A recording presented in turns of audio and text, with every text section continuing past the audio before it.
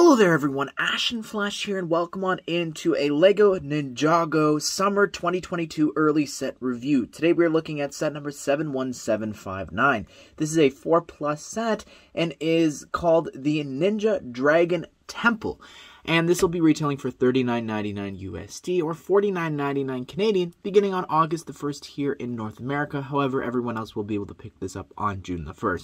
And this is actually sent to me early by Lego slash LAN to do a review for. Now, I have a problem with this whole wave, and this is actually finally going to be a video that I'm going to finally record this week, and it'll be out um, talking about why I, I think that there's some real failures in that January wave. Um, but this set, I think, is it's actually not bad. For a 4 plus set, just looking at some of the prices of other sets that you get, I'm not saying that this isn't overpriced. I'm saying looking at other 4 plus sets that you would get for this price, I actually think that the value of this is it's pretty good. Like I think that you are really getting a lot here. But again, my biggest issue with this entire sub theme that they created is the characters and minifigures. But without further ado, let's go ahead.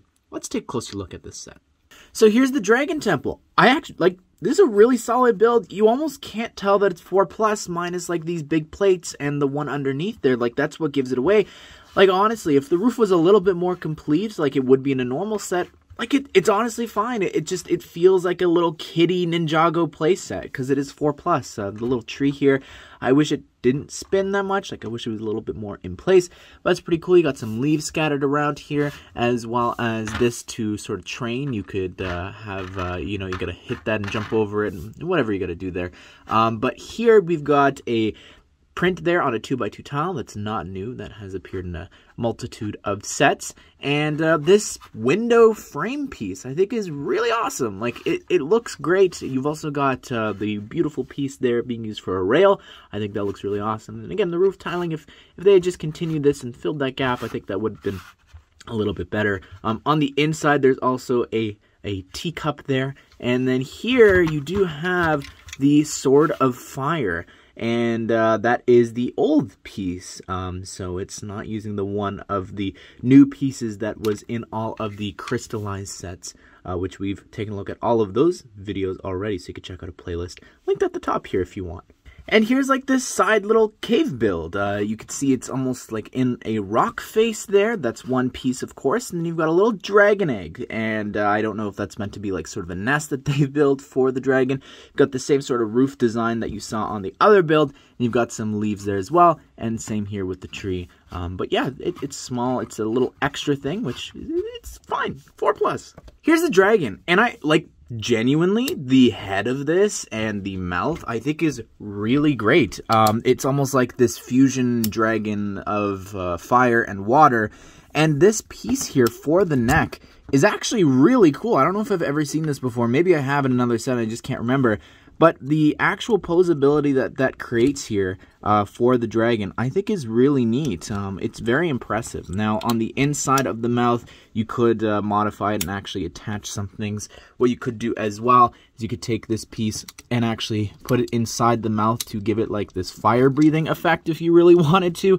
I don't know, the flame's not that big, but I like I love the colors of that there. The printing on this head is so detailed. Same over here on the other side. You've got a little bit of the chin there. The wings the blue and yellow, I think, look really awesome, as well as, like, look at the leg printing. That's using the raptor legs there um, from Jurassic World, but uh, they're actually in red and black, and it's got some scale printing there on the leg as well. I think that's really awesome. Of course, you do also have a spot there for you to actually take one of the ninja included in the set, and you could sit them inside of the dragon. The tail as well, the build for that, it's, it's fine, pretty solid. My biggest complaint with this is Where's the arms? Like, why didn't you include arms? I can't wrap my mind around why. So what I've done is I've actually gone and borrowed the arms from the latest T-Rex uh, from the Jurassic World Dominion sets, just to show you how good this looks with the arms. Like, look how much that adds to that. That looks so great. And the wings still can flap. I was thinking maybe they would hit that, but look how awesome that looks. Imagine those in red. It would be perfect. And here is the uh, snake bike. Uh, it's pretty snake bite, snake bike. Haha.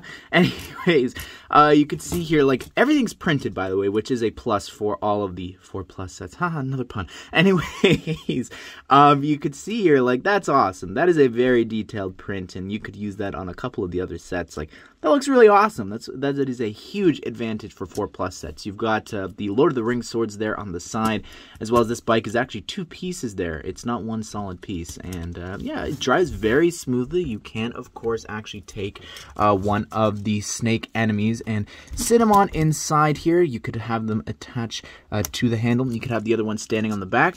You also have this little tail piece here in the back as well that you can move up and down. And here is this side catapult build, and it's very simple. All you do is take one of the cone pieces, put it inside of the catapult there, and you can fling it at uh, the dragon.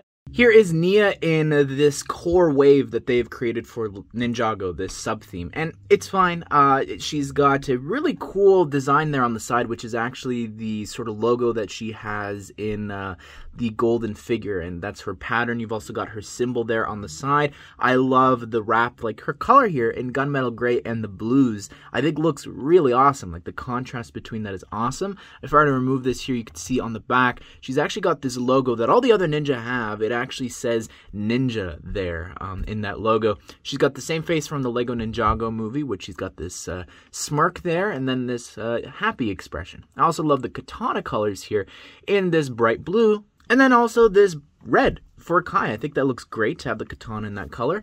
The design of this figure, again, same sort of thing. We've got the flame design there on the side. His logo's down there on the bottom right of the leg printing. I don't know, I've said this in those past reviews. I don't really like the color scheme with the medium nougat. I don't think that really works with the red and the dark yellow, but the dark yellow and red looks awesome for a fire design. I think that looks really great. The contrast between the two. We got the same logo that I was just talking about before, and same Lego Ninjago movie face upset expression there, and this smiling one on the front. Here is the Sneaky Snake and the Cobra Mechanic. Now, technically speaking, they're the exact same figure. The leg printing is the same, the torso is the same, the coloring of the head is the exact same, which is just something. And again, my biggest problem with this whole wave is just the minifigures aren't as desirable as other waves, specifically comparing it to the crystallized wave.